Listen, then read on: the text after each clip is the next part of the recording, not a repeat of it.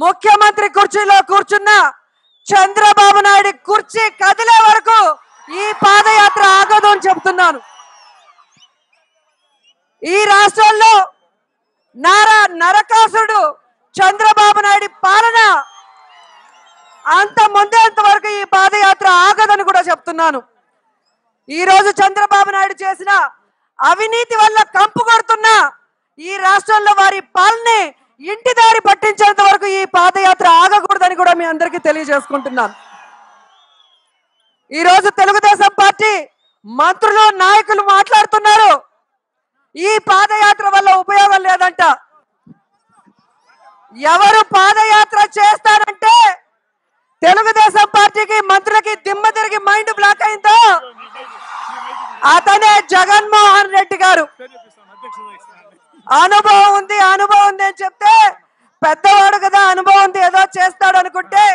ఈ రోజు రైతుల్ని మహిళల్నే కాకుండా రాష్ట్రాన్ని కూడా నట్టేట ముంచిన గనుడు చంద్రబాబు నాయుడు అన్న విషయం అందరూ తెలుసుకున్నారు. ఈ రోజు జగనన్నని ప్రతిపక్షంలో కూర్చోబెట్టినందుకు ప్రతి ఒక్క కుటుంబం కూడా ఈ రోజు చింతిస్తూ ఇలాంటి నాయకుడు ఉంటేనే మన రాష్ట్రం బాగుంటుంది రైతులు బాగుంటారు మహిళలు బాగుంటారు యువత బాగుంటారని అందరూ డిసైడ్ చేశారు కాబట్టి ప్రతి కుటుంబం జగనన్న రాక కోసం ఎదురు చూస్తోంది. ఇంతవరకు ఒక లెక్క ఈ రోజు నుంచి ఒక లెక్క. సో జగనన్న వెళ్ళే ప్రతి కుటుంబం కూడా ఈ రోజు మన కర్మ కొద్దీ చంద్రబాబు నాయుడు కోటేశాం ఐదేళ్ళు మన కష్టాలు పడాలని మరి ఏ విధంగా తమ బాధలు గుండెల్లో పెట్టుకొని ఎవరైనా రాకపోతారా మా కష్టాలు తీర్చబోతారా అనుకుంటున్న వాళ్ళు జగనన్న రాక కోసం ఎదురు చూస్తున్నారు. వారందరికీ భరోసా ఇస్తూ రాజశేఖర రెడ్డి రాజ్యాన్ని స్థాపించి మళ్ళీ అందరికీ కూడా సంక్షేమ కార్యక్రమాలతో వారి మొహంలో వైఎస్ఆర్ గారు కోరుకున్నట్టు చిరునవ్వు చూడటానికే ఈ రోజు మూడు వేల కిలోమీటర్లు నడవడానికి జగనన్న అడుగు వేస్తున్నారు. ఈ రోజు ఇక్కడ వేసే ఒక అడుగు అడుగులో అడుగై అడుగులో అడుగై ఐదు కోట్ల మంది ప్రజల ఆశీర్వాదంతో రాజన్న రాజ్యం వచ్చే విధంగా మీ అందరూ కూడా ముందుకు నడిచి ప్రతి గ్రామంలో కూడా అన్న వస్తున్నాడు. జగనన్న వస్తున్నాడు. రాజన్న రక్తం వస్తుంది అని తొడగొట్టి చెప్పాలని కూడా కోరుకుంటున్నాను.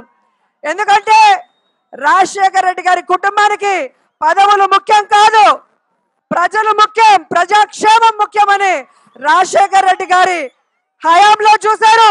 ఇప్పుడు జగన్ గారి హయాంలో చూస్తున్నారు.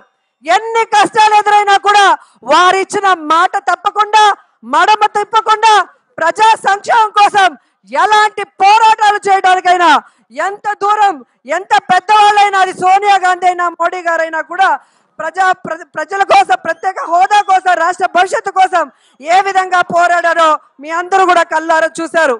ఈ రోజు తెలుగుదేశం పార్టీ వాళ్ళు మాట్లాడుతున్నారు. రాష్ట్రంలో ఏ కష్టం లేదంట. పాదయాత్ర వేస్ట్ అంట అలాంటి వాళ్ళని నేను అడుగుతున్నాను. ఈ రోజు రైతులు ఎందుకు ఆత్మహత్యలు చేసుకుంటున్నారు? డ్వాక్రా మహిళలు అప్పుల పాలు ఎందుకు అవుతున్నారు? నిరుద్యోగులు ఉద్యోగాలు లేకుండా ఈ రోజు అవమానంతో ఎందుకు కుంగిపోతున్నారని నేను అడుగుతున్నాను. ఈ రోజు తొంభై మూడు పర్సెంట్ రైతులు అప్పుల పాలయ్యారు. రాజశేఖర్ రెడ్డి గారు ఉన్నప్పుడు తలెత్తుకొని గర్వంగా తిరిగిన రైతులు ఈ రోజు ఆత్మహత్యల వైపు చూస్తుంటే ఆ రైతన్నలకి భరోసాగా ఈరోజు జగన్ గారు ముందుకు వస్తున్నారు ఈ ఒక మహిళా అధ్యక్షురాలుగా ఈ రాష్ట్రంలో నేనెన్నో మహిళా కష్టాల్ని చూశాను.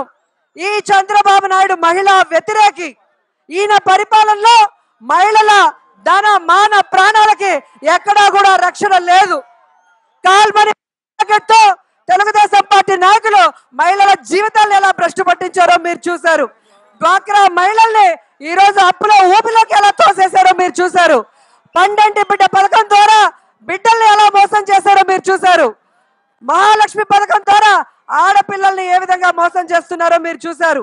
ఈరోజు నారాయణ కాలేజీలో చైతన్య కాలేజీలో ఆడబిడ్డలు ఆత్మహత్యలు చేసుకునే విధంగా ఏ విధంగా వాళ్ళని హింసిస్తున్నారో మీరు చూస్తున్నారు.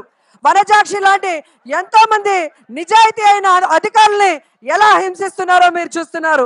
ఇలాంటి మహిళలు రెండున్నర కోట్ల మంది రాష్ట్రాల్లో రాష్ట్రంలో ఉన్నారు. వాళ్ళందరికీ తోడబుట్టిన సహోదరుడిగా జగన్మోహన్ రెడ్డి గారు మా అందరికీ అండగా ఉంటాడన్న నమ్మకంతో మేము ఎదురు చూస్తున్నాం. ప్రతి ఇంట్లో మహిళ జగనన్నకి హారతి బట్టి స్వాగతించడానికి రెడీగా ఉంది. కాబట్టి తెలుగుదేశం పార్టీ తెలుసుకోవాలి. ఈ రోజు మీకు కౌంట్ డౌన్ స్టార్ట్ అయింది.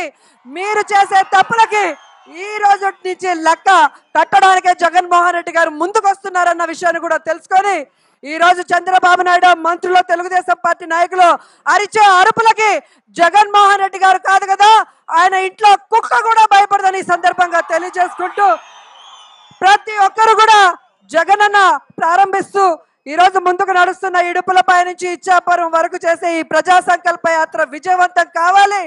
ప్రజల్ని మోసం చేసి గద్దెలో ఎక్కిన చంద్రబాబు నాయుడిని దించి మీ అందరికీ క్షమాపణ చెప్పే విధంగా మీరందరూ కూడా ముందుకు నడవాలని కోరుకుంటూ సెలవు తీసుకుంటున్నాను. జై జగా జై జై జగా వైఎస్ఆర్! వైఎస్ఆర్! జై జగా ఈ వీడియో మీకు నచ్చినట్లయితే లైక్ ఆర్ కామెంట్ చేయండి. మా ఛానల్ సబ్స్క్రైబ్ చేసుకోండి.